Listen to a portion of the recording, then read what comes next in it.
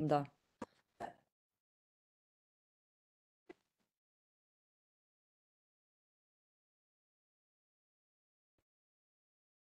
Ok.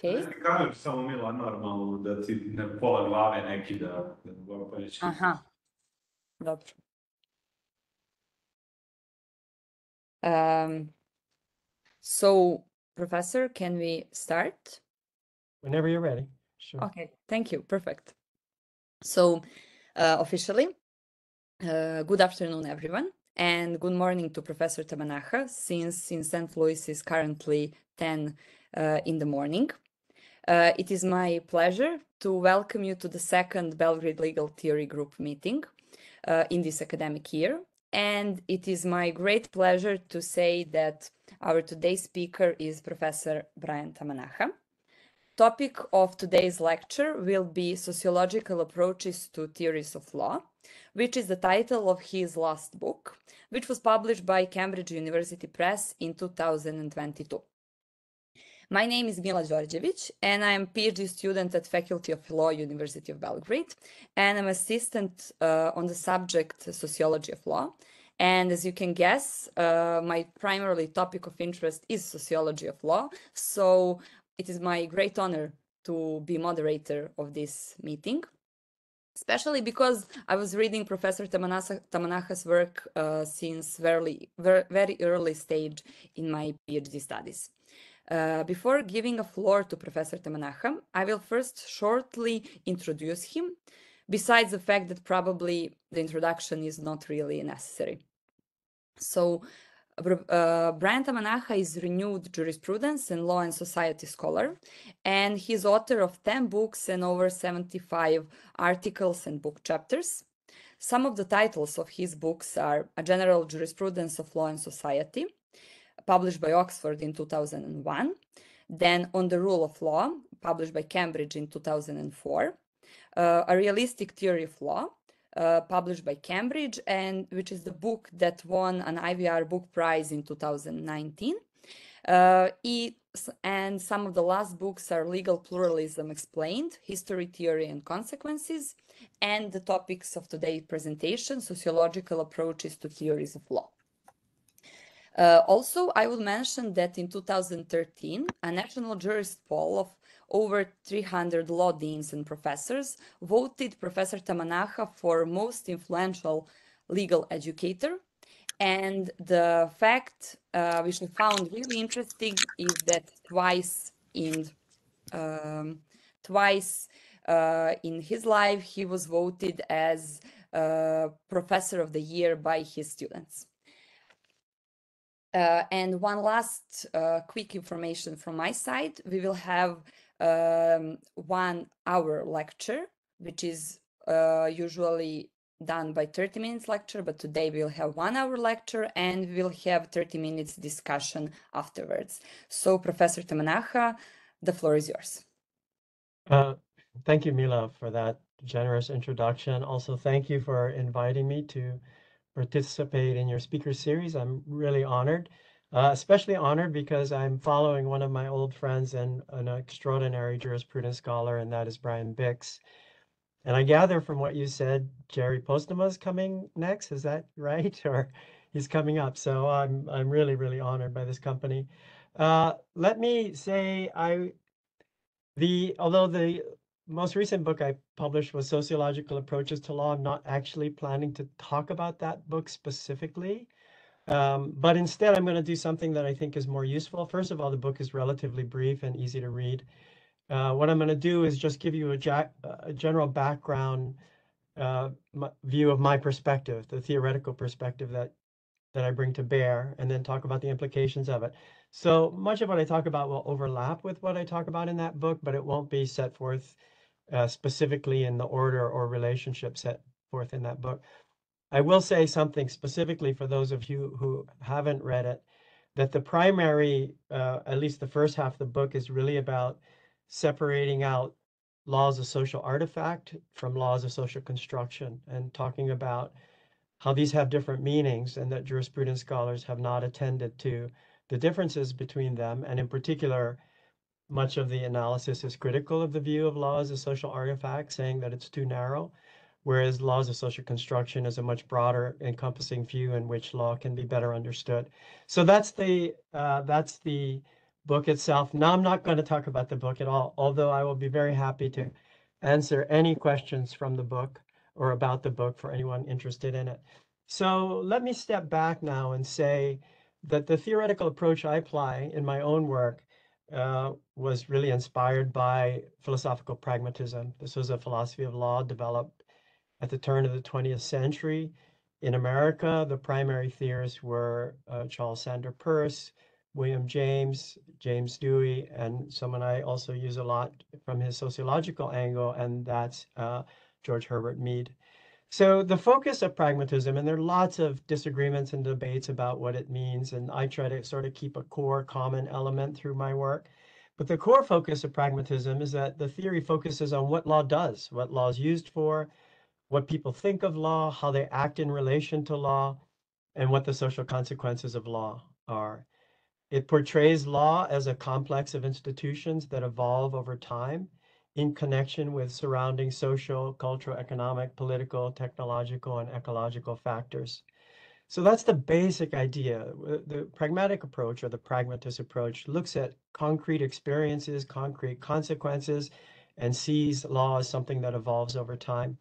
So what I'm going to do in the lecture is, and I hope to not run an hour. I'm kind of thinking 45 minutes or 50 minutes because I know it's hard to listen for an hour. So I'm going to set out the epistemological underpinnings of pragmatism, again, just core ideas about truth and knowledge, and then ontological and methodological aspects of a theory of law informed by pragmatism. In other words, what does that theory lead to if you apply its uh, perspective? The topics that I plan to cover are in order pragmatism, naturalism, historicism and holism, social construction of law. And if I have time, I'm going to quickly say a few words about instrumentalism, power, and ideals. So first, let's talk about pragmatism. So I mentioned the primary pragmatist theorists. Um, they were, and it's important to understand their background and what influenced them. They were significantly influenced by Darwinian evolutionary theory, the idea that things evolve, everything within society is evolving, also views of probabilistic explanation, also influenced by the scientific model of inquiry and experimentation, which importantly, the pragmatists viewed as continuous with all forms of human inquiry. In other words, it wasn't something special that set it apart.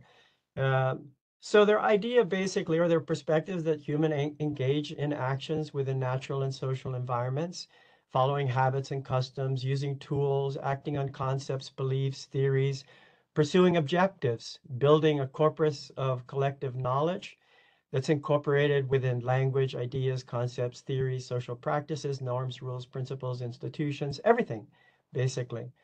So at any given time, the overwhelming bulk of knowledge and institutions in society are the legacy of previous successful actions new discoveries adding to, modifying, or replacing what came before. Now, the naturalistic component of their thinking was that humans, like all species, have natural traits and needs and engage in activities within natural and social environments aimed at really fundamental things like surviving, procreating, and improving the conditions of our existence. Here's a quote from Dewey that reflects this. Quote, man lives as animals live, eating, fighting, fearing, and reproducing. Now, Dewey also said that as time goes on, we develop this immense bodies of meaning and knowledge and institutions. So we continue through this into social institutions. Uh, but fundamentally underlying it are these biological processes. So everything, reasoning, language, knowledge, values, institutions, everything humans do and create from a pragmatist perspective are within nature. And that's the important part of naturalism. It presents a processual vision of human social existence, continually evolving with the accumulation and deployment of knowledge in the course of just pursuing our projects, trying to achieve our goals. Now, the issue of truths. So for the pragmatist, the truth consisted of beliefs that proved reliable and successful when acted upon. Um, true ideas, this is a quote, are those that we can assimilate, validate, corroborate, and verify. Uh, false ideas are those we cannot. here's James. Our ideas must agree with realities, be such realities concrete or abstract, be they facts or be they principles, under penalty of endless inconsistency and frustration. Here's a quote from Dewey. If ideas, meanings, conceptions, notions, theories, systems are instrumental to an active reorganization of a given environment, to a removal of some specific trouble and perplexity, then the test of their validity and value lies in accomplishing this work. If they succeed in their office, they are reliable, sound, valid, good, and true. Uh, now, notice by my description that the pragmatic method of truth is, is uh, oriented towards experience, towards actions, in that they're based on trying to try out courses of action aimed at objectives and observing the consequences. And all of this is a, occurring within a community of inquirers. It's also important to emphasize that this is not a subjectivist theory of truth grounded in individual beliefs, although some of the pragmatists said things at times that suggested this. In their careful writings, they accepted that there's an objective world out there, a real world that is independent of us, independent of our subjective opinions and our prejudices. Now, to again to understand the pragmatists, it helps to realize that they were, and again, as I suggested, they came out of science. That was what they were most impressed by as knowledge. But they were also impressed by recent discoveries that led to a changing of understanding of what scientific theories are about. And those two most important discoveries in the late 19th century was the discovery of non-Euclidean geometry, and in the early 20th century is Einstein's uh, theory of rel relativity. Prior to that, everyone thought Newton was providing absolute timeless universal truths or that uh, Euclidean ge geometry was absolute timeless universal truths. But with these new discoveries, these new theories, and the theories themselves created new facts, the facts defined in terms of what the theoretical assumptions are. So what they came to realize is the theories themselves, and this is a quote, this is a quote from James, theories become instruments, not answers to enigmas in which we can rest. So the pragmatists emphasize that on a daily basis, we just carry on our activities through routinized habits and customs, and that only when we're confronted with some kind of difficulty or a novel situation do, do we then are we then forced to uh, enter into a, a, an attitude of inquiry, trying to figure out what the difficulty is, proposing different ways of how to proceed, and then trying out these different ways to see which of them uh, which of them works. So now let me talk about what the pragmatists were, what their opponents were, because that's also critical to understanding what they were about. So at the time, the pragmatists were, the philosophy was dominated by uh, a particular approach that the pragmatists opposed. Uh, the, this approach um, was, and here's a quote from Dewey, the world in which philosophers put their trust, the philosophers of his day, turn of the 20th century and thereafter, the world in which philosophers put their trust was a closed world, Dewey wrote, a world consisting of intern internally of a limited number of fixed forms, having definite boundaries externally. But we live in an infinitely variegated world, he emphasized, so multiplex and far reaching that it cannot be summed up or grasped by any one formula. Moreover, this, this is a conception of a universe whose evolution is not finished of a universe which is still, in James's term, in the process of becoming, of a universe up to a certain point that's still plastic. So the pragmatists brought a completely different perspective. Philosophers at the time were looking for absolute universal truths, and the pragmatists were coming and saying, no, that's not uh, what truths are and how they work. So here's another quote from James. The pragmatist, he says, quote, turns away from abstractions and insufficiency, from verbal solutions, from bad a priori reasons, from fixed principles, closed systems, and pretended absolutes and origins. He turns towards concreteness and adequacy, towards facts, towards action, and towards power. Okay, so that's the pragmatist view. And let me just briefly say why it's still relevant today.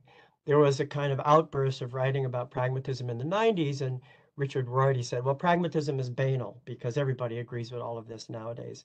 Well, in fact, it is banal in many respects, but it's not correct that everyone agrees with it. And core group of writers who don't agree with it are analytical jurisprudence.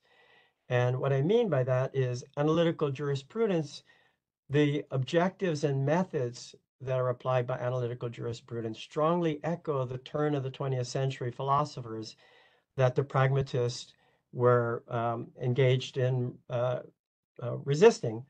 So here's a quote from Joseph Raz, just to give you a sense of what I mean by that.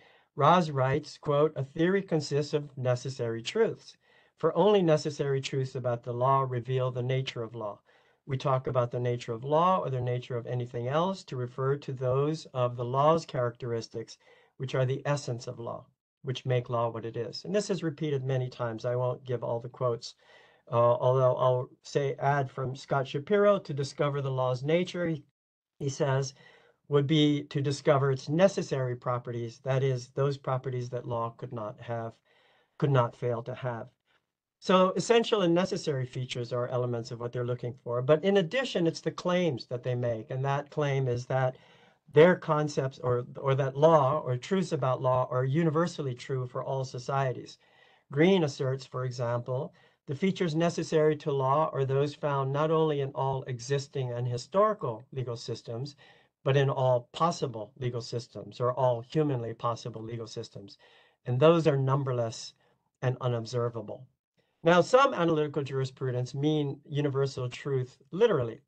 So Shapiro writes, quote, social science cannot tell us what the law is because it studies human society.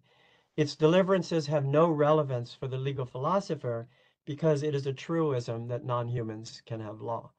So uh, Shapiro's argument is that the philosophical truths that they're uh, focusing on go far beyond what social science is about because social science is just about human behavior and they apparently are providing universal truths that apply to alien societies. I want to repeat this statement because I want to take off on it for a moment. He wrote, its deliverances have no relevance for the legal philosopher because it is a truism that non-humans have law. And I'm emphasizing that because uh, Shapiro's really quite excellent book is grounded on a series of what he claims are self-evident truisms that are so true that they cannot be disagreed with. Now, I'm going to suggest to you that a, a truism that non-humans, a statement that it's a truism that non-humans could have law, should at least give you pause and ask, what, what does it mean to say that's a truism? And when you look at all of the truisms that Shapiro declares, I'm just going to suggest to you that these are just simply his own assumptions about law based on the systems that he's familiar with and do not reflect law at other times and places in other parts of the world. Now, again, I'm just focusing on their claims. So as I'm suggesting, they're looking at essential and necessary characteristics that are universally true for all societies. And it's not just that, it's that they hold for all places and all times. And this, again, is a quote from Raz. It's easy to explain in what sense legal philosophy is universal. Its theses, if true, apply universally. That is, they speak of all law, of all legal systems, of those that will that exist or will exist, and even those that can exist, though they never will. Moreover, its theses are advanced as necessarily universal. So in short, the target for the approach that I bring is precisely claims of this nature. Uh, analytical jurisprudence ground their analyses in conceptual analysis, intuitions, uh, declared self-evident tru truisms, with limited attention to empirical circumstances. Uh, pragmatism, in contrast, rejects necessary universal truths based on intuitions and self-evidence. Dewey calls self-evidence arguments based on self-evidence uh, ipse dixit. Uh, that was a comment from Dewey. Uh, and the pragmatists instead emphasize attention to what people are doing with law and the consequences of their actions. Now let me move forward and address some core themes that uh, emerge from this pragmatist perspective. So one core theme is naturalism. And naturalism has multiple meanings. Um, one meaning is that only natural phenomenon exists and everything occurs within natural processes. So that's one meaning that I'm, uh, that is the core meaning that I'm adopting. And in particular, the pragmatists and Dewey especially were really influenced by the biological perspective so from a biological perspective, naturalism situates human social animals within evolutionary processes common to all species. And that what distinguishes us are primarily our intellectual ability, language, and our tool-making capabilities. But other than that, we're subject to same natural requirements. So Dewey wrote uh, that reflective thought, quote, has its origin in biological adaptive behavior. And the ultimate function of its cognitive aspect, thought, that is, he's describing, is a prospective control of the conditions of our environment. So, what does he mean by this? Well, we need food, we need clothing, shelter, we reproduce. We're physically vulnerable, we're roughly equal, we live in potentially dangerous environments with limiting resources. We are self interested, but we're also altruistic. We compete, but we also cooperate. We create shared meanings and act in a myriad of ways to achieve our objectives, and yet we also have clashes. So the the biological perspective then brings all, all, everything that we do within this sort of naturalistic environment, including, and this is the part I think is critical, including the social world that we create. That is, the social world itself is a continuous with the uh, what we often think of as the natural world, when I'm suggesting that the social world is a part of the natural world. And uh, Dewey emphasizes that as time goes on, yes, we've gotten past the bare needs, although obviously and sadly, in many societies, people are still struggling just for food, shelter, and water. But in other advanced societies, we've gone far beyond that uh, to now have as uh, our concerns the social institutions within which we operate. Now, the naturalistic perspective that I just out, just briefly outlined for you comes into play from a standpoint of understanding law at different levels and in different contexts. So I just want to highlight for you a couple examples. So one example where this naturalistic perspective can help, actually, I think is fundamental to legal theory, is that there's abundant support uh, from anthropologists, from archaeologists, uh, from psychological studies that human existence requires basic rules of social interaction or social intercourse.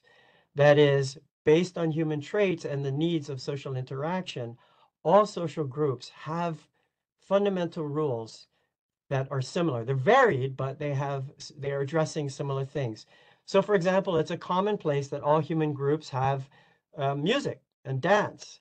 Uh, obviously, they all have language. They also have reciprocal gift giving, aesthetic standards, cosmology, meaning, meaning of our existence. Specifically in relation to law, all human groups have some versions of, excuse me, property rights, prohibitions against killing, redress for violent injuries or accidental injuries, rules related to marriage, inheritance, sexual restrictions, debt obligations. Versions of these things exist in all societies. Now, again, I want to emphasize they vary greatly across societies, subject to their cultural influences and other influences, and they also change over time. But but all societies seem to have versions of this. Now, in addition to that, and again, I'm giving you some possible entry points for naturalism into law. In addition to that, it turns out that these fundamental rules are their indications are undergirded by natural factors. For example, jurisprudence scholars and, and psychologists have been arguing in recent years about natural moral intuitions, immediate automatic reactions to injustice, or as one other philosopher wrote, an intuitive jurisprudence that's created as a structure in terms of how we think.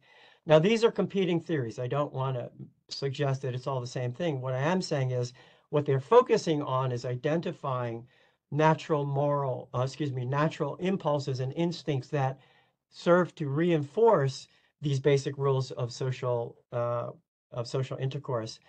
And the reason that's important is because scholars have been speculating about this for some time. So, for example, the great Adam Smith wrote or identified law or reactions to law with natural reactions to injustice. So here's a quote Fraud, falsehood, brutality, and violence excite reactions of scorn and abhorrence, Smith observed. And murder, theft, and robbery call loudest for vengeance and punishment. This is an innate sense of justice, Smith talked about, that the main, which he said, quote, is provides the main pillar that upholds society, without which it would crumble into atoms.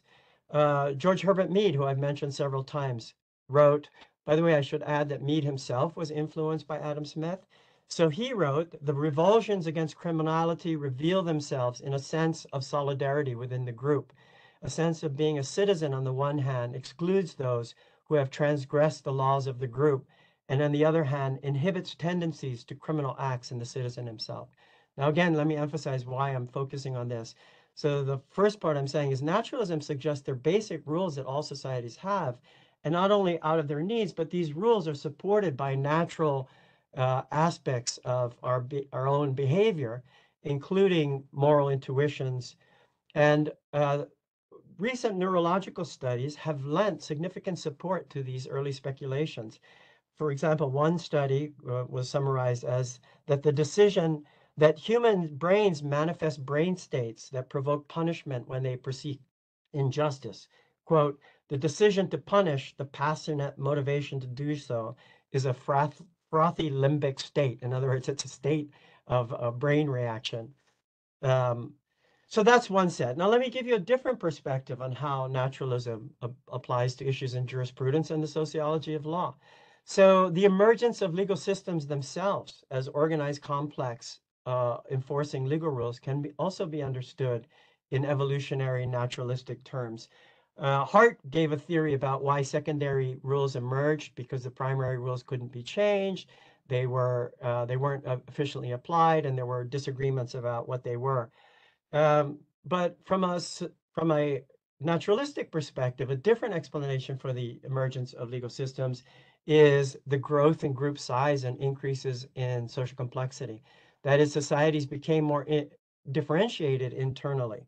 And one part of that differentiation is the emergence of a, a ruling, a ruling polity, and legal institutions that provide the enforcement muscle for that policy, for that polity. So the and these are what I'm summarizing for you comes from studies by archaeologists and anthropologists of early chiefdoms uh, and ancient states that these systems emerged and all of these systems uh, provide basic uh, rules for the society, but in addition, provide order within society, and in addition, which I'll talk about a little bit later, enforce hierarchy within society.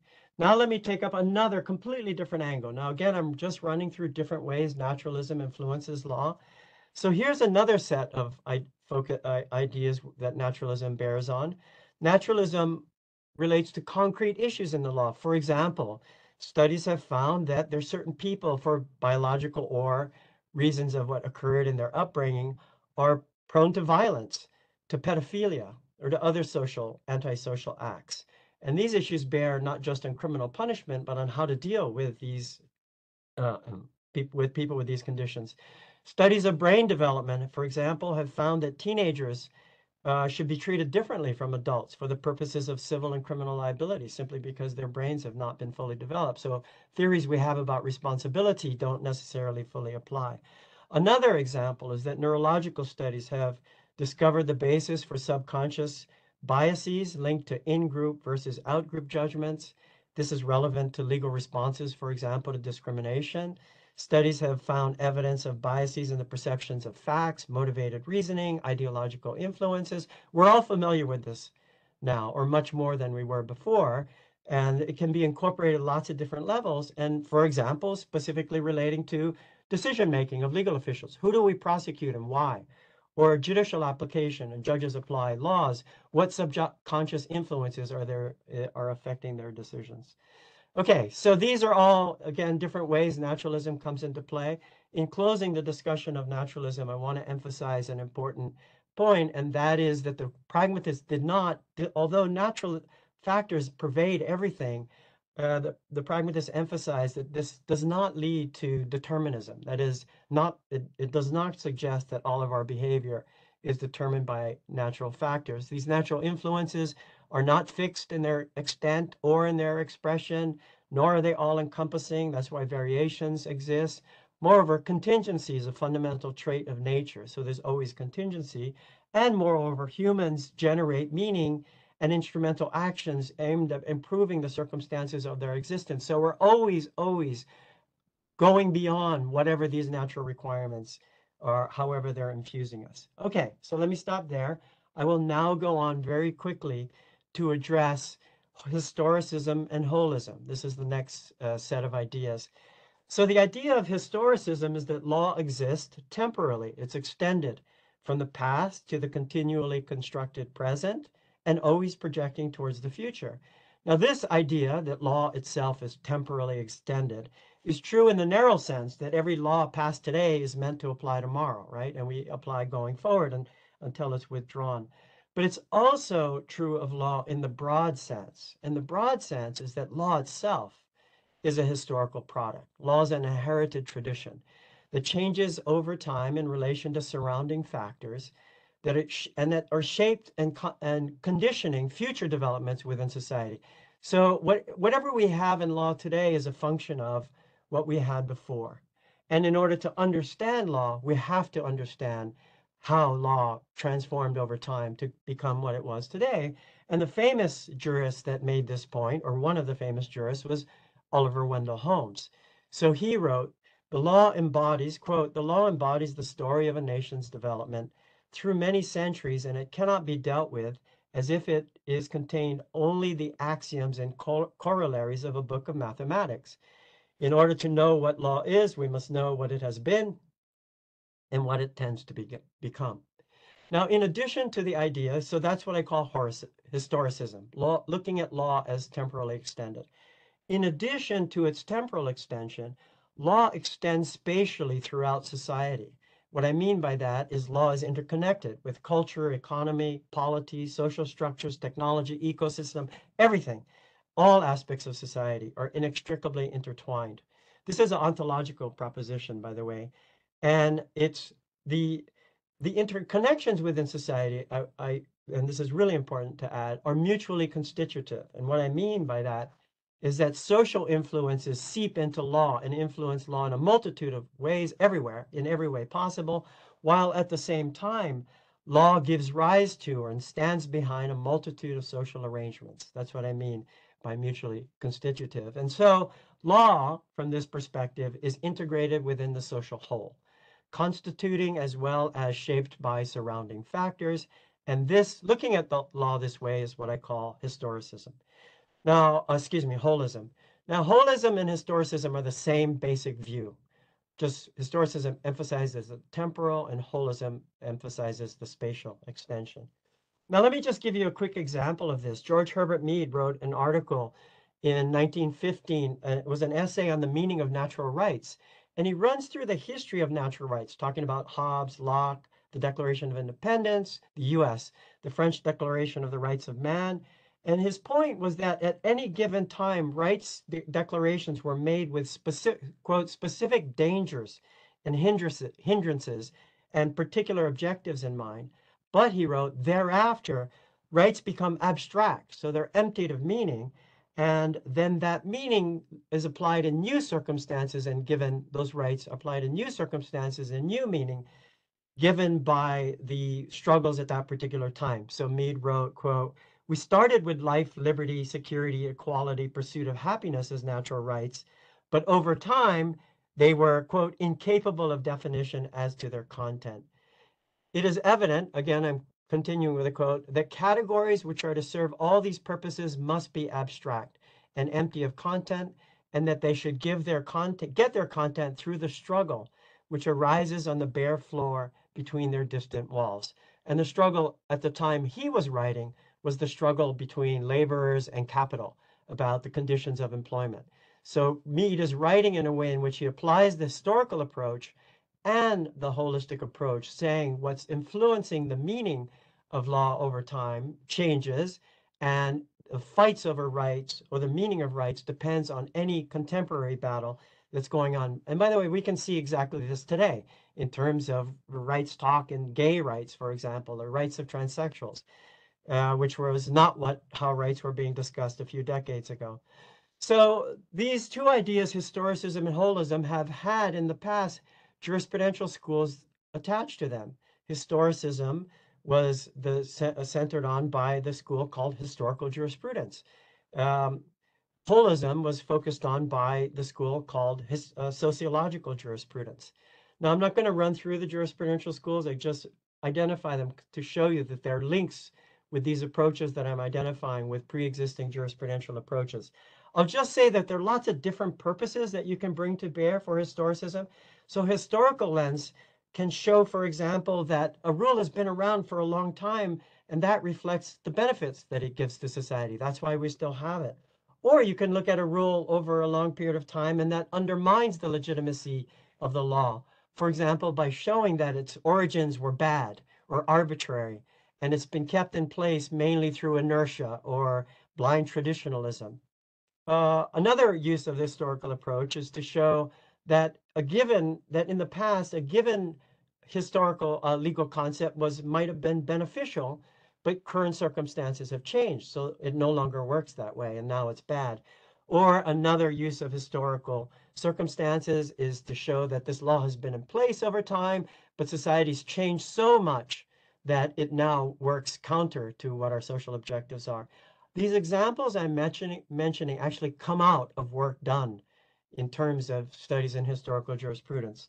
Okay, the sociological jurisprudence, I'll again just say quickly, and this is related to holism focuses on the social influences surrounding law. As I said, everything, ecology, uh, the polity, culture, technological advance, uh, changes seeping into law at every turn. The one thing I want to add to that, that the pragmatists focus on is, uh, the focus is not just on legal institutions. Legal philosophers and theorists often look at what legal officials do, but lots of changes in law actually come by, through the day-to-day -day activities of lawyers creating and structuring new transactions for the purposes of their clients.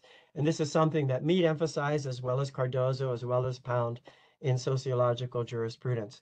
The bottom line for this, bringing it back to, to uh, jurisprudence generally, is these various interconnections between law and society, which are manifold and dynamic, and the ties, the temporal ties, suggest that viewing law in isolation is fundamentally flawed. That is, you cannot understand law. If you don't, at some level, understand its, its temporal existence and changes over time, and if you don't understand that it's integrated with society. Now, let me just give you a quick uh, concrete example of the difference that, that this makes, the significance of historicism and holism. Only a historicist and holist perspective can tell us why the rule of law developed in some societies over time and not others. There's no other way to explain this. Furthermore, only a historicist and holist perspective can account for the reality that rule of law societies, pick them, France, US, Japan, Germany, rule of societies, all of them consist of very different uh, institutional arrangements. And it's that fact that they are both historical and related to society that explains why you can have or how you can end up with different institutional arrangements that create what will nevertheless be recognized as some common thing called the rule of law. Okay, let me very time. Let me very quickly now cover social constructionism. Uh, just pause for a moment. So the the idea of social constructionism, I think, is very familiar today. So just as a basic idea, the the social world is the product of our meaningful actions and their intended and unintended consequences. It's created by us, the social world. It's created by us collectively, but the social world pre-exists individuals and it survives. So we just come and go, but the social institutions are there and they can create a continued existence. So people are born into assume a place in partake of and modify existing language, knowledge, conventions, social practices, and institutions. And all of these actions, and I want to emphasize intentional and unintentional consequences. So all these actions collectively give rise to the world, the world that we exist in and simply take for granted. The world of what? Hospitals, schools, petrol stations, office buildings, factories, courts, uh, law schools, um, and everything else in society. So these social phenomenon, and they're everywhere, uh, we just take for granted in our daily lives. We're just operating within already existing institutions. Uh, so I'm not going to go into the details, but I use Mead's ideas to talk about the social construction of law. And he emphasizes that the way law operates is all different people in society have different roles, and these roles in the aggregate constitute what he called a kind of generalized other and that this is how our systems operate. So here's a quick quote that gives rise to what he called the common response. So the common response is the response of the community. For example, he says to property. The common response varies with the character of the individual. This is Mead now. In the case of theft, the response of the sheriff is different from that of the attorney general and from that of the judges and jurors and so forth. And yet they're all responses that maintain property, which involves the recognition of property rights in others. So it's a common response in varied forms that in the aggregate result in uh, recognition of property. So uh, the idea in this socially constructed world is that people work within organizations built on conventionally recognized roles, responsibilities, routines, practices, and roles. It all hangs together, even though it's not necessarily the case that anyone understands, any one person understands every aspect of it, and many people don't. They know what their role is and maybe have a general idea of how it fits in. Now, importantly, Mead did not claim that people's actions are determined by their institutional roles and responsibilities. To the contrary, like all pragmatists, he recognized that there's a pluralism of perspectives among individuals and that this affects how these things played out. So he wrote, quote, the, that these rules and responsibilities afford plenty, quote, plenty of scope for originality, flexibility, flexibility, and a variety of conduct. All of these social institutions, he emphasized, are not just created on an ongoing basis, but also creatively modified. They're extended. They can also be breached and ignored, uh, as well as followed. And they all have degrees of indeterminacy and contingency. Nor did Mead believe that all of these organizations operate smoothly together in society. He wrote that conflicts are ubiquitous. So, quote, each social institution with the good that it subtends asserts and maintains itself but finds itself in that assertion in conflict with other institutions and their goods. Now, the important thing about the social constructionist perspective, and again, I'm using it by way of contrast to analytical jurisprudence, is that it's based on a ground up perspective grounded in conventional recognition. That's the key that I want to emphasize. That conventional recognition tells us what you're doing in, in any particular institution, and in law specifically, conventional recognition tells us who counts as a legal official, what legal powers they have, uh, what they need to do to create uh, something that counts as official law. In law, we call this rules of validity or rules of recognition. So social, the idea of social convention, convention recognizes all of this. And ultimately, laws, whatever legal officials say law is, through their collectively recognized conventions and roles.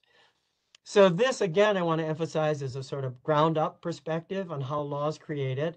And as with naturalism, I'm just going to identify a couple different places where it gives rise to questions in, analytical jurisprudence. So one question that immediate or one challenge for analytical jurisprudence that immediately arises is that the focus of much of analytical jurisprudence is on law as a system of rules. So for example, Hart writes that law is a union of primary rules of obligation and secondary rules utilized to recognize, change, and apply the primary rules. And indeed, a big part of law involves the creation and application of rules for social ordering. And the primary rules are rules of social obligation. Everyone knows this story. It's a brilliant reduction of law. However, law does a lot more, and lots of law does not involve rules. And this you can see if you look at it from the ground up perspective. Law is actually, in the modern world, certainly a multifunctional tool that can take any form and be used for any purpose. And I just want to give one monumentally important purpose of law that is not about enforcing rules, and that is enabling acts. So enabling acts are not rules, they're actually performative devices that accomplish things by declaration. They're usually marked by words like, I hereby establish, I hereby create, or enabling acts can terminate. I hereby terminate or abolish. Enabling acts create, uh, termination acts can terminate. Enabling acts create government agencies. They reorganize government agencies. Termination acts wipe agencies out of existence. Enabling acts create corporations. All of these things are done by declaration. And I mentioned the two biggest forms of organizations that dominate modern existence corporations and government bureaucracies, both of which are creations of law. They're actors of law. They're not, this is not about legal rules, it's about creating new actors.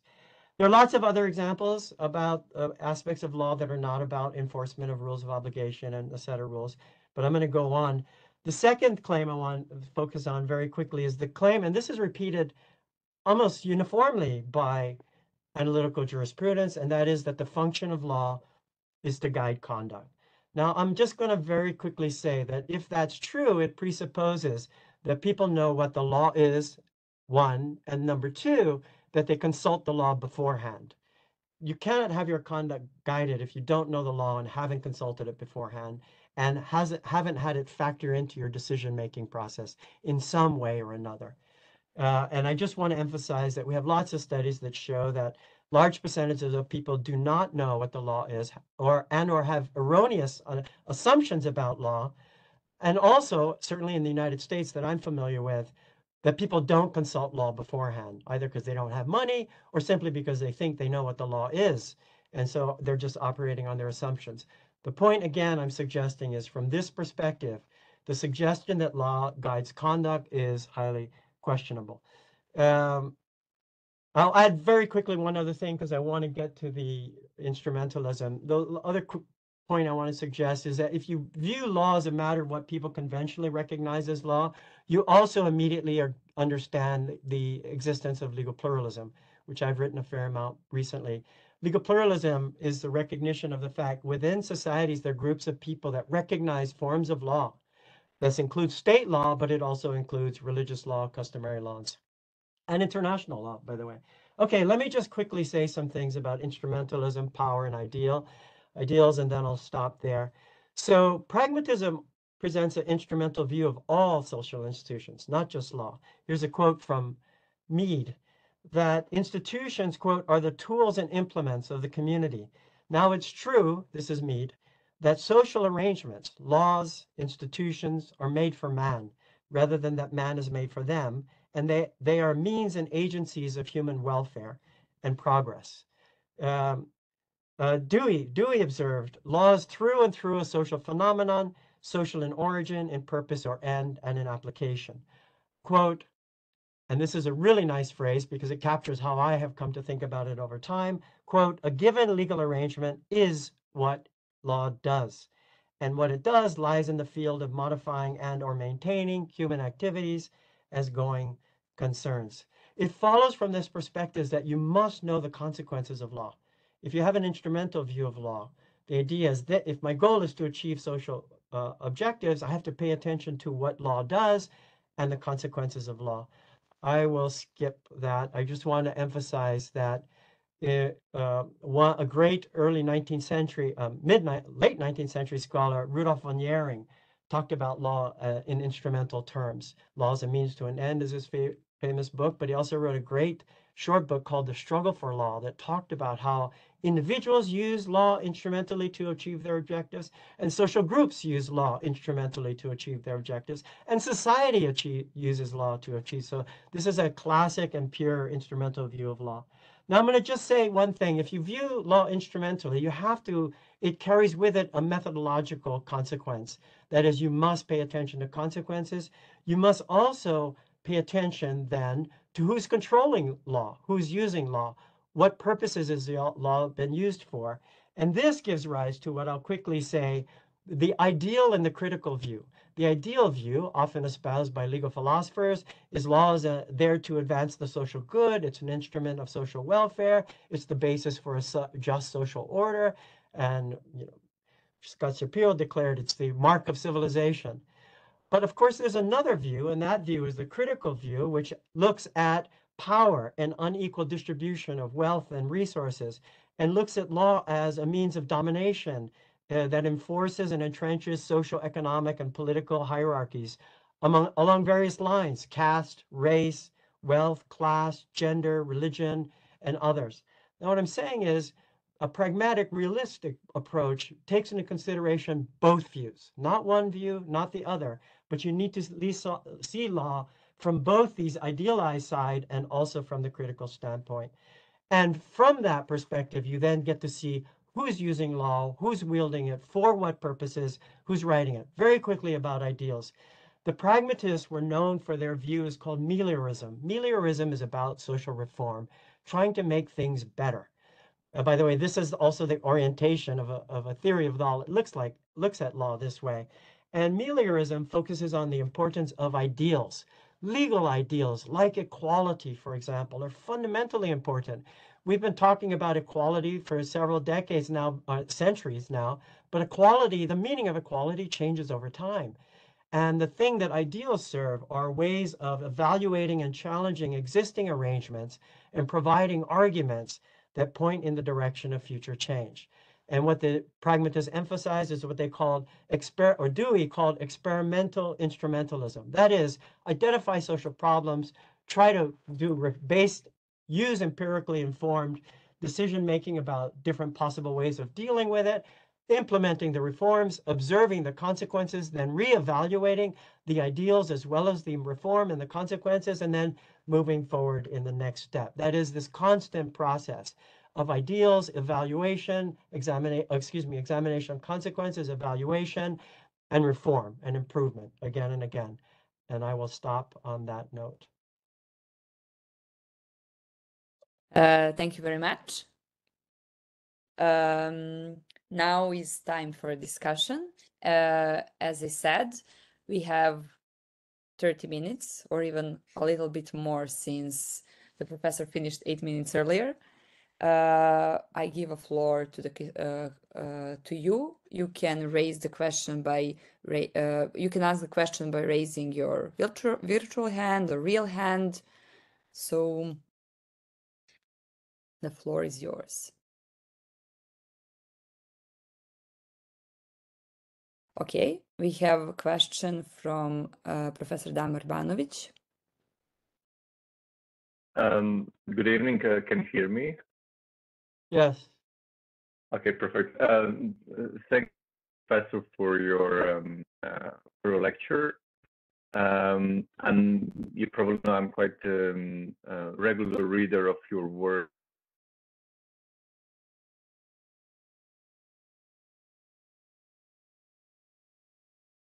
Uh, yeah, it looks like we lost the connection. And a possible, um, uh, I lost the connection. Over here, I'm back. Yes. Hi, it's yes, you're okay. back. Because at some point I was, uh, I just saw the frozen faces. uh, so once again, thank you for your for your lecture. Um, I'm quite a regular reader of your work. Uh, almost all, all of the books I read. Uh, actually, I quit uh, using a lot also in my in my approaches and trying to combine some of your insights. Um, I mean, I have a lot of questions, but I'm not gonna uh, I'm not gonna um, uh, use the, the, opportunity to ask all of them.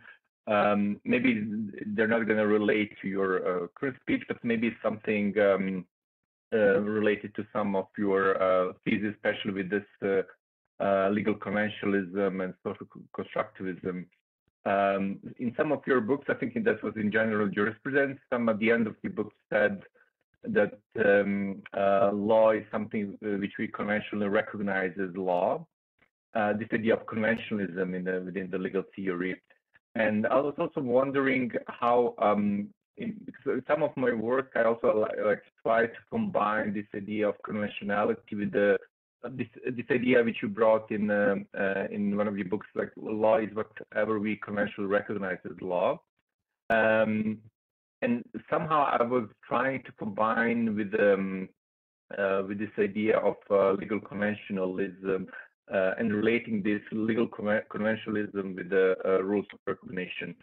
Um, I was actually wondering because also you, you propose different different views in, in your work, how this idea of um, um, uh, actually the thesis within the legal uh, conventionalism and social social conventionalism actually can actually how a legal theory can benefit from this.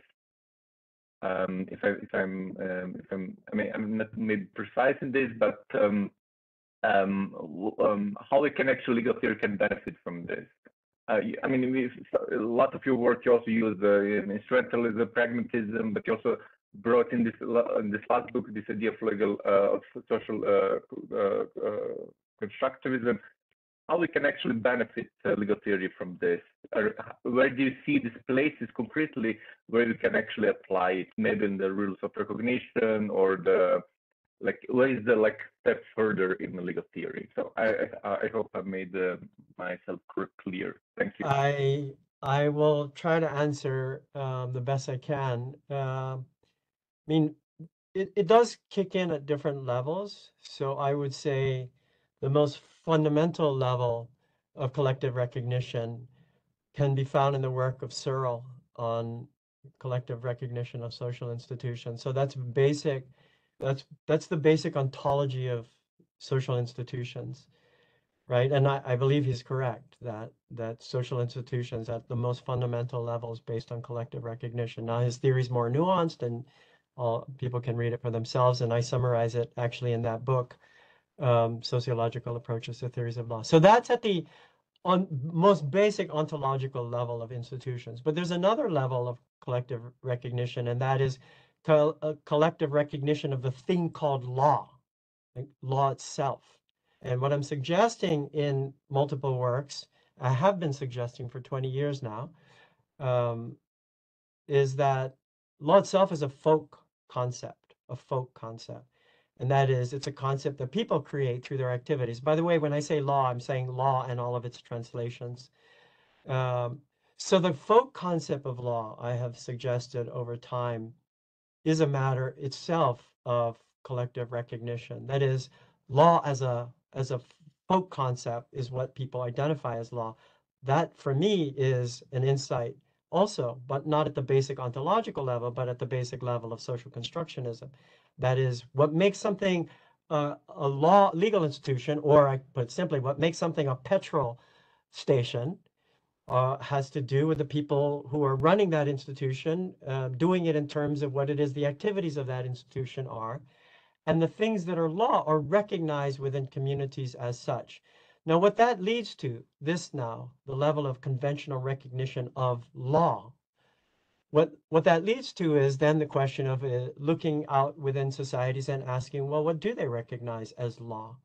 And it turns out, and I've suggested in other works, that different things have been recognized, not one thing, and that these things have changed over time. This is where historicism and holism is coming into play, and that things that are recognized as law actually have evolved over time. By the way, the point, and I want to inject this again as in reference to analytical jurisprudence, how can there be timeless universal truths if we acknowledge that law evolves over time? You see, there's a fundamental problem. There's a clash between these understandings. So I would say this, the two most basic levels are conventional recognition at the basic ont ontological ontology of institutions level slash Searle, then conventional recognition of law as a folk concept, law as a folk concept, and then we have conventional recognition within law by legal officials agreeing upon what sets of rules they follow to recognize valid law. So you see these are different levels where it kicks in. So I think that's the best way to kind of respond to you. Uh, okay. By the way, I'm not saying it's only those, but those are, I think, are the mm-hmm. most often that we talk about in law. Yeah, because some, somehow I think uh, that was also my idea. How, but I just wanted to like uh, to hear your opinion. Uh, yeah. Thank you. Yeah. Thank you. Uh, okay, do we have more questions?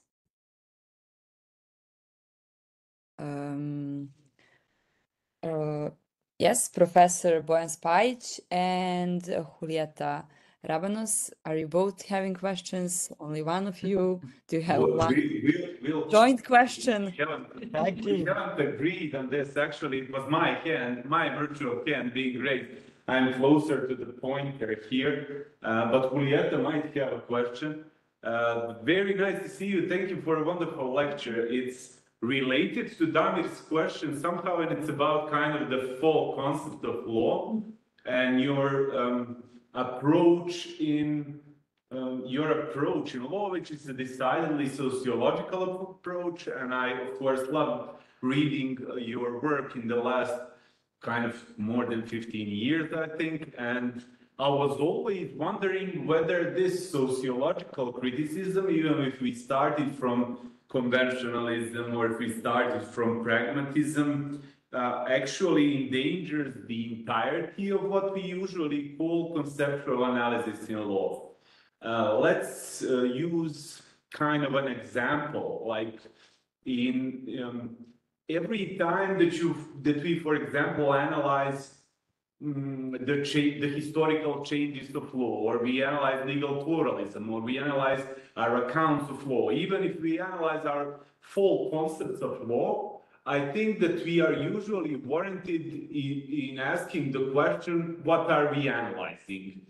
And I, uh, in, in the following sense, so aren't we able to determine some properties without designating them as essential, without designating them as necessary, or without designating them as needed in all or indispensable in all possible worlds, or however we want to frame it.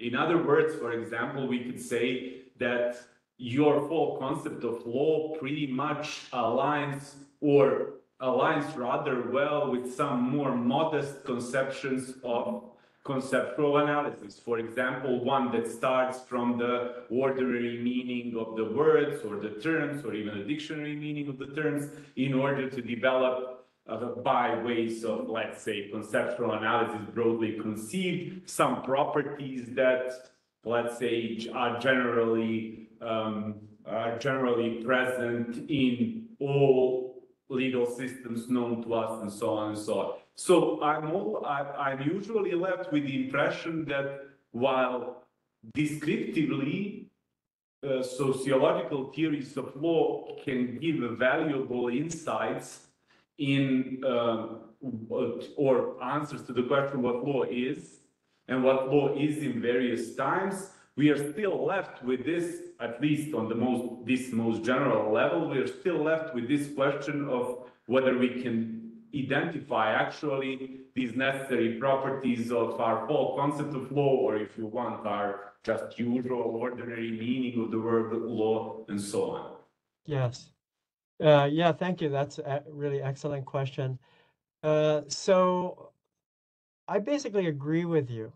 And I, but I agree with what you described as the project. So if the project is, uh, we'll call it modest conceptual analysis. By modest, I mean the claims that are made about what it is you're producing.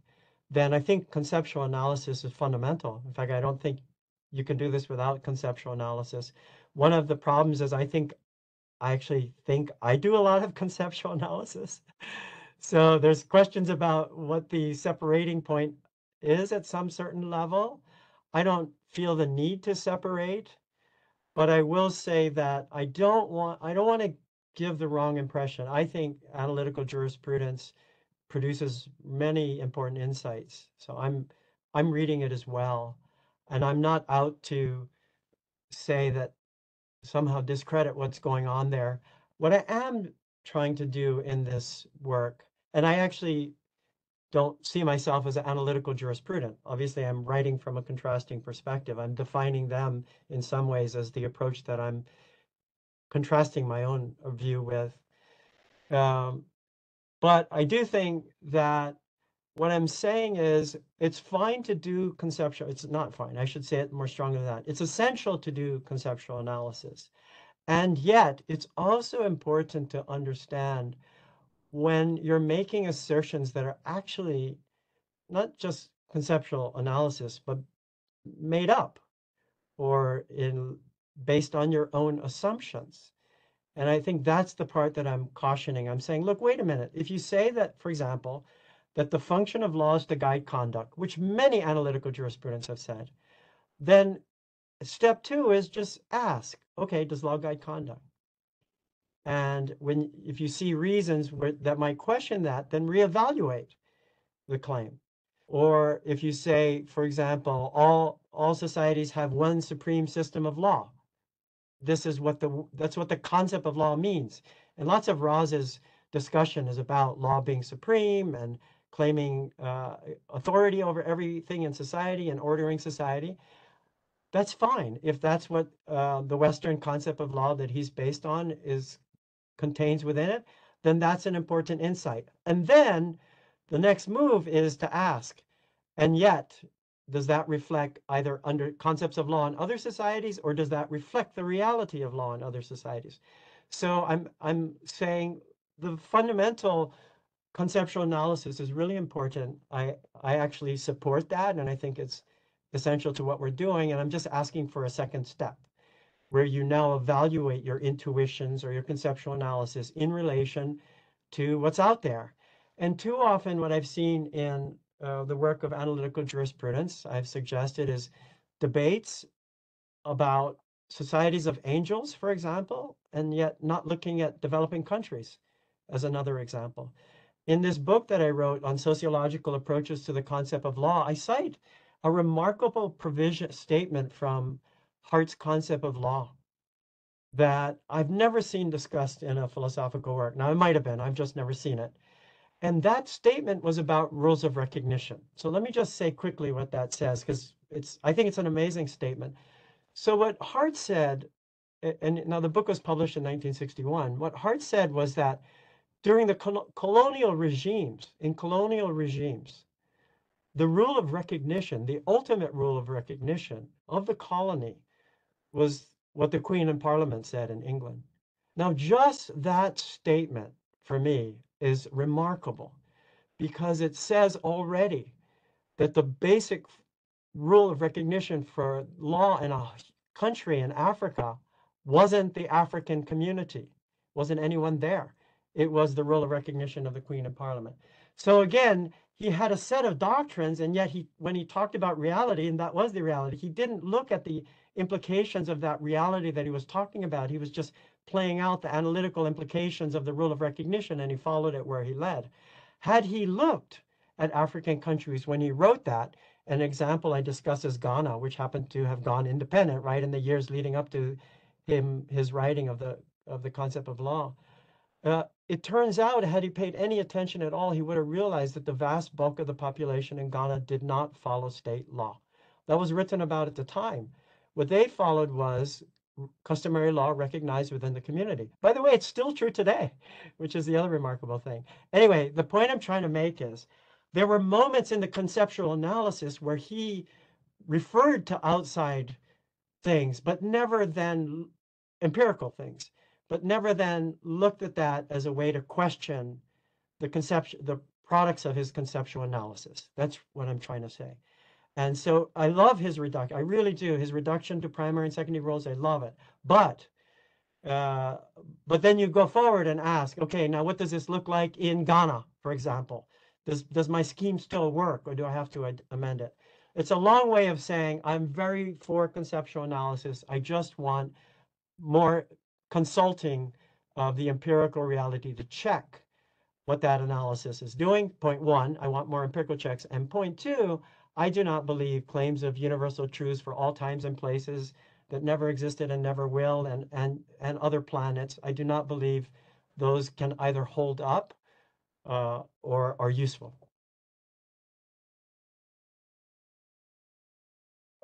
Uh, thank you very much. Uh, next question goes to Professor Miodrag Jovanovic. Uh, hi, Brian. It's really nice to, to see you. We've been trying to bring you to Belgrade for quite some time. Uh, eventually, it's uh, in this form, but uh, nevertheless, it was really a, a, great pleasure to to listen to your lecture. I just wanted basically to add uh, and to ask you actually uh, to what extent some also of the discussions in the anthropology and the anthropology proper can be integrated into the the, the entire package of uh, of claims and theses uh, uh, that also sociological approach to law uh, foster. Uh, you mentioned just a couple of minutes ago that uh, Hart published his The Concept of Law in 1961. We all know that obviously, but uh, it's an interesting thing that in the exactly the same year of 1961, Margaret Mead, the famous uh, anthropologist, published uh, in Natural Law Forum, uh, she published an article called Some Anthropological Considerations Concerning Natural Law. Basically, uh, she wanted to uh, to show that empirical investigation of of the then anthropology could confirm that there, there were certain universal uh, uh, universal elements in uh, legal orders of uh, virtually all known societies, including those that were back then called uh, uh, primitive uh, uh, legal orders. And just to to mention the there were basically three important findings: the sacredness of human life, which means that all societies were making distinctions between justified and unjustified killing. Then there was in all uh, societies some version of the incest taboo. And the third one was uh, that there was some sort of a, protection of uh, certain aspect of privacy uh, in, in all regimes.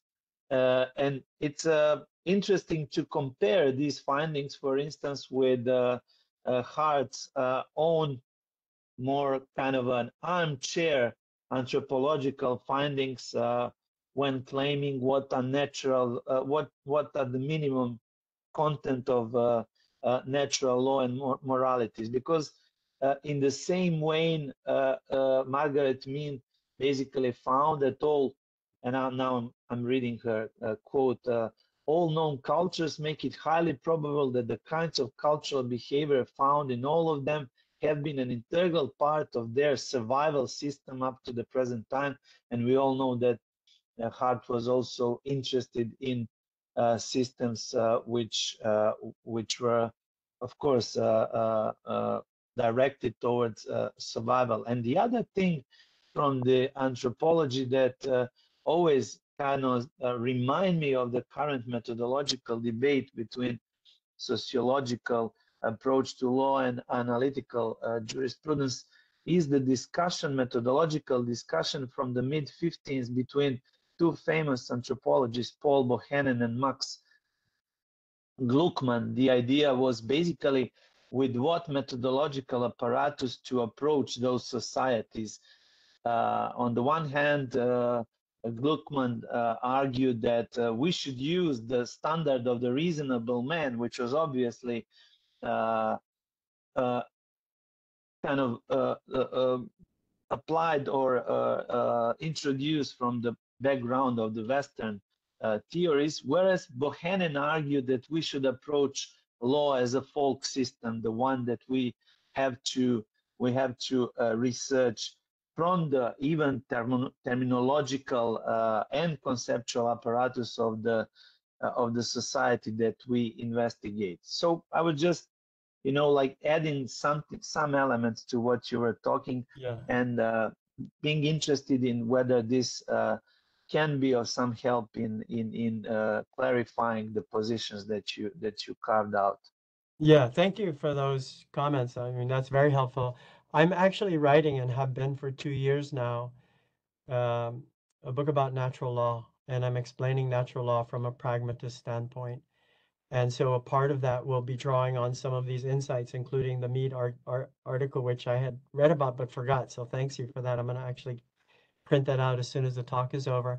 I want to say something about what you mentioned about Hart. So Hart, as you said, focus on what he called the minimum content of natural law, and that is protection of, of persons, property, and, and enforcement of promises and his basics he just basically speculated that you know all social groups have this. I think he's right and that's what a reference i made that i made to uh, the fundamental rules of social intercourse or interaction. I want to say that when he said that he also wrote that that uh, that information about that is not the subject of truisms. It's something that you have to investigate through and he wrote sociological and psychological investigation. That's a perfect illustration of what I was trying to say that he made this, I think, really important insight, and yet it's simply not been taken up. So he said, we, we philosophers can't solve this by ourselves. We can speculate about it. By the way, his ideas on this you can take from Hume as well. Um, but that's where it stops, right? If the idea is uh, analytical jurisprudence want to explore a minimum content of natural law, which he famously declared, then that's not based on intuitions and conceptual analysis, even according to Hart. Now you have to consult what we can learn from science about these things. Uh, thank you very much. The next question is to Maciej Pichlak, if I'm pronounced that well. Yeah, thank you very much. Uh, and thank you, Professor Tamanaha, for your lecture. Uh, let me first add to to to to to this as an instant follow up that that the 1961 is also the year in which Philip Selznick publishes his sociology and natural law article, which I think is a nice fit to this discussion. Um, uh, and actually, my question is also somehow related to this problem uh, and to the empirical check to the uh, conceptual analysis that you have mentioned. Because um, uh, the question is, uh, the question I would like to pose is, uh, do you define or do you put any methodological requirements or any methodological threshold that such empirical check for conceptual analysis should meet? Because it seems to me that the main problem with concept with analytical jurisprudence is not that uh, it lacks such a test right? I mean in hart or Raz or any other analytical jurisprudence philosophers we can find these references to we, we can find some empirical empirical arguments. The problem is that this is mainly this what has been mentioned before this kind this armchair kind of uh, of sociology uh, based on common sense intuitions and anecdotal evidences that does not meet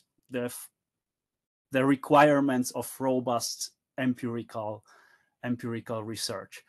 Uh, so if we really want to treat seriously right, the demand that conceptual analysis is supported or verified or, or, or tested against against this what we can meet in the in the real praxis of, of, of societies uh, how much should we rely in your opinion on the methods offered by uh, sociology or social science in general uh, and how much this this kind of argument that I think jurisprudence is more used to that means common sense intuitions might might be accepted.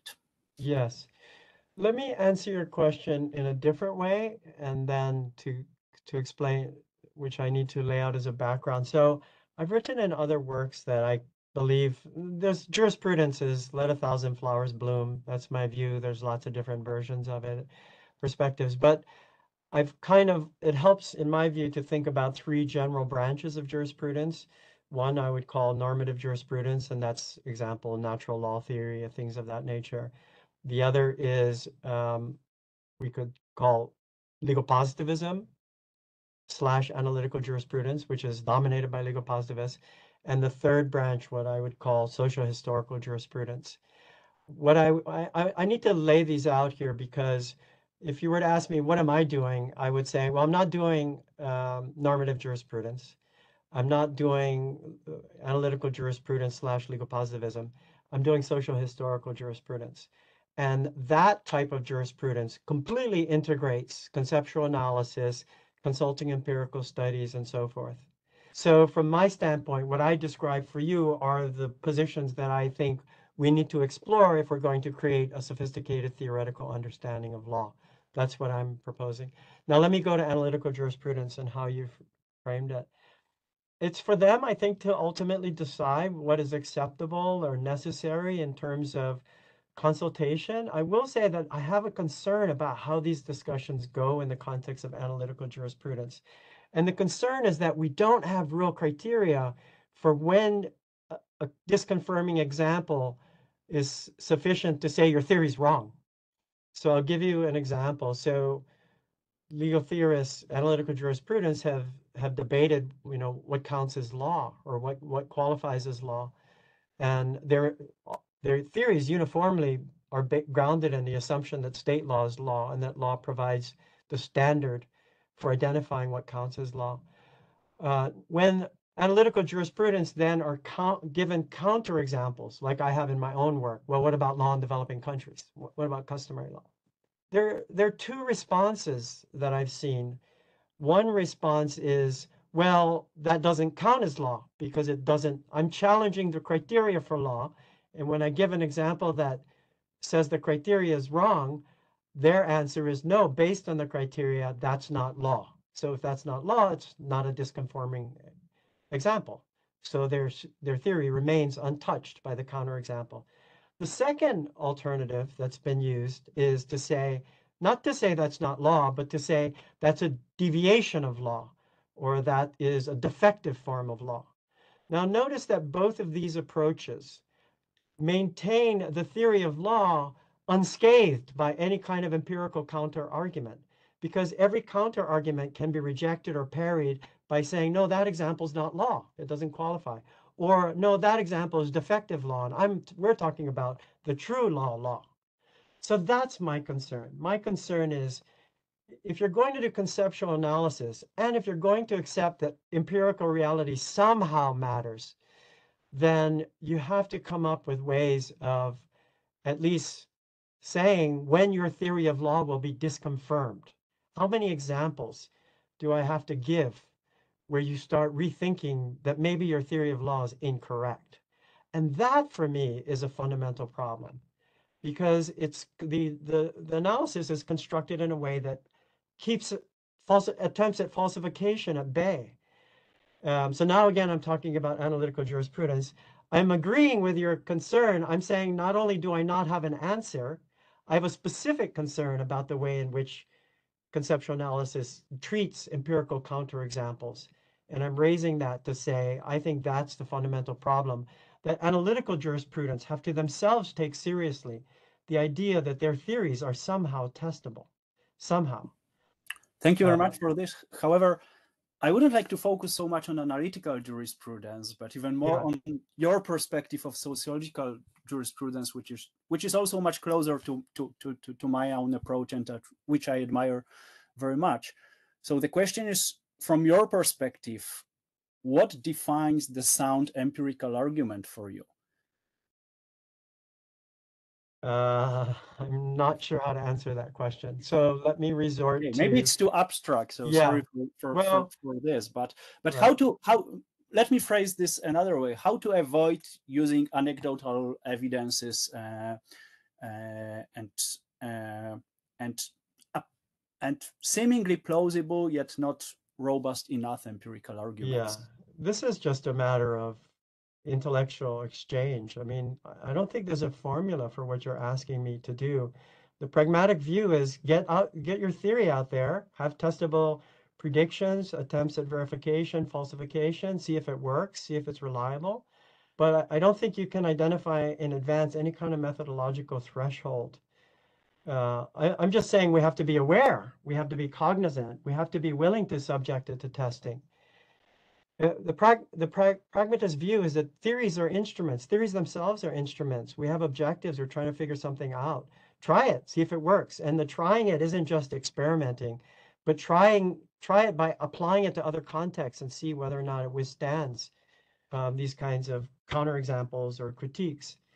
Um, so I guess the best answer to you, or the only answer, I don't have a better one, is that there there's no specific rule we can set up in advance to address any of these methodological issues. The pragmatist view is really about subjecting to testing, verification, and to the extent that those insights hold up in relation to objectives that we have, that's enough. That's good. That's reliable. That's something for us to believe on until we come across a counterexample that can't be explained. The pragmatist approach really emphasizes fallibilism. That is, I, I believe things that are true and true, really true. But I'm really willing, I'm willing to accept that at some point it turns out I had a view about law not necessarily guiding people. Well, if there are lots of evidence that in fact people are guided by law ex ante, I will change my position. Um, but so far I see mostly evidence that they're not. So until I see something otherwise, I will stick with that.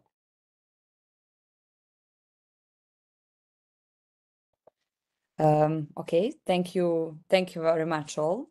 Uh, thank you very much, Professor, for participating. Uh, then thank you all of uh, viewers who asked questions. Oh, I now see that Sava Vojnovic also has a question. Sava, Yes, thank you. okay.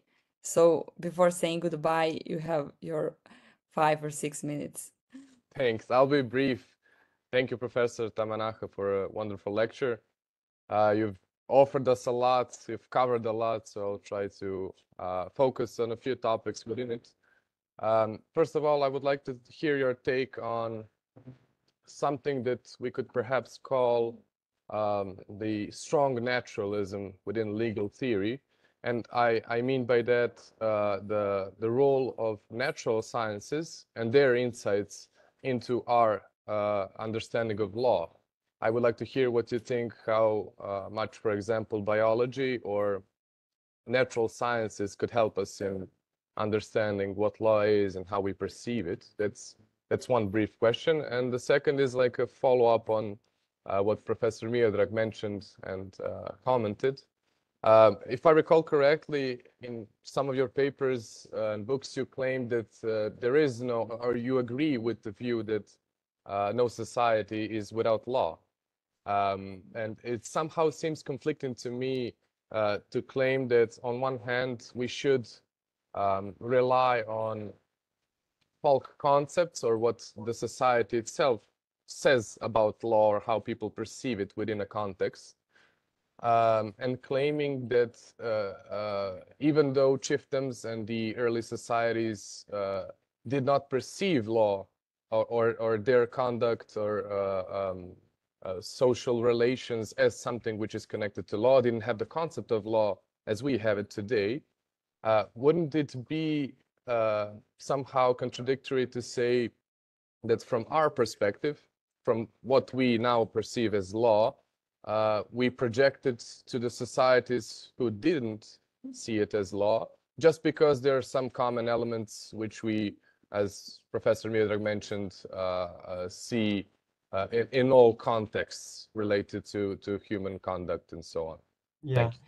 Okay, good. That second question is very important. On the first one, I don't have question. I don't have much to say except that I think we have only begun to tap into the implications of naturalism, that is biological information about human behavior for the purposes of law.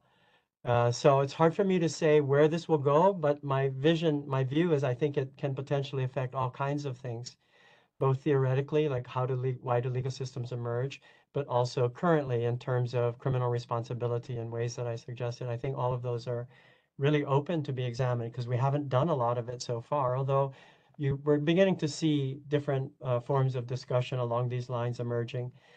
Um, now, I want to address your second question because it's a, it's a very important question about conventionalism and how this plays into what you identify. That is, how does it work with societies when we talk about societies that didn't conventionally recognize what we call law.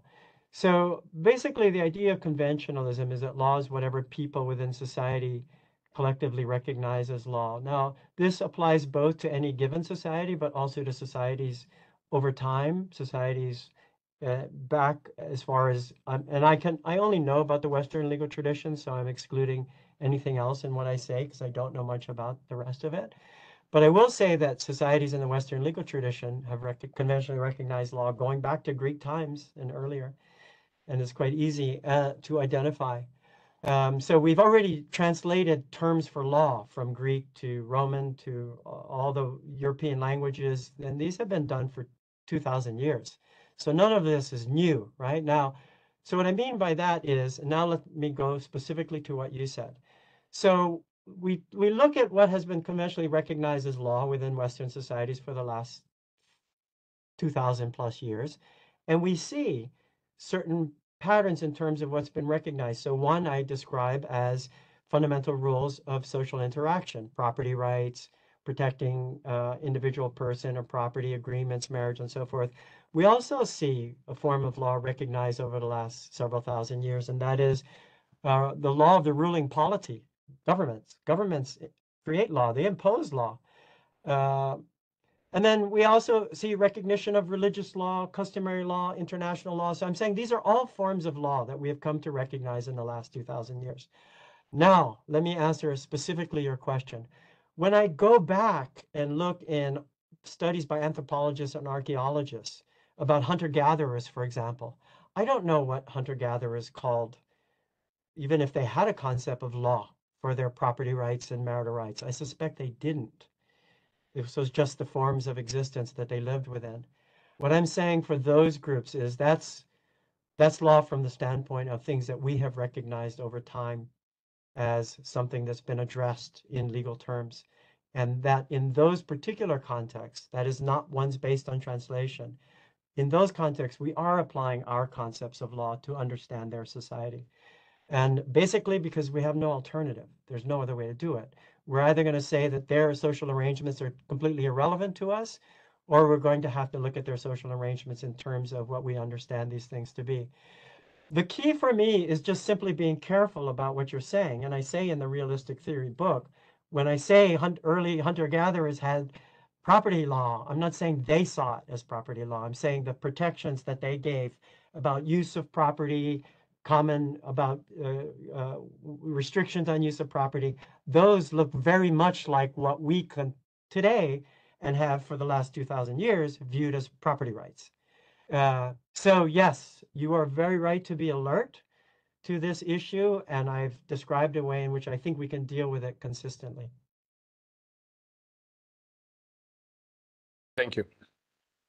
Thank you. Um, since we don't have any more questions, I will just again like to say thank you a lot for coming to Belgrade Legal Theory Group meeting.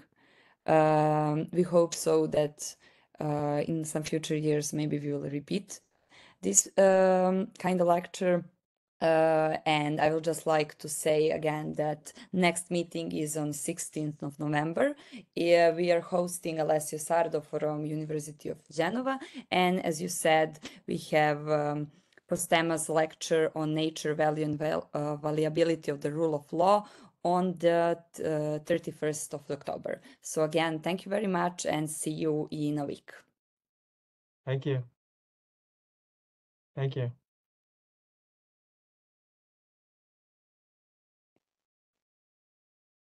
Preživela sam. Ugasi snimanje. Da, čekaj. Bili ste odlični. Hvala, Hvala. hvala.